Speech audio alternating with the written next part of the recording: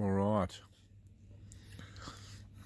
First day with the GPX 6000 in Sandstone, West Australian Goldfields, and the fucking detector was mint. It was surprisingly smooth and um, fault free. And we had a 7000 out here and a 5000, and uh, I can tell you, it was finding everything they could find. Piece of piss.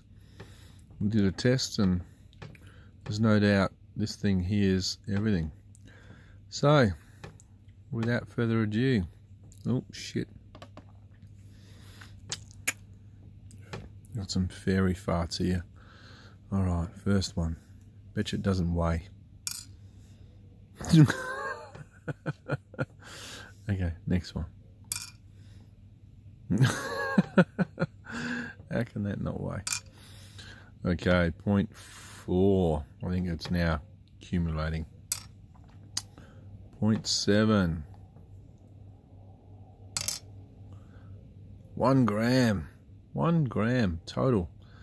One, two, three, four, five bits. I found one bit on its own.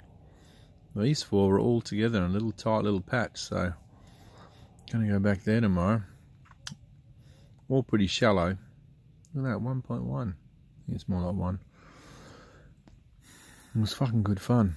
But the um, GPX 6000 was mint and the arm didn't get sore at all, didn't use any bungee. It was fucking great.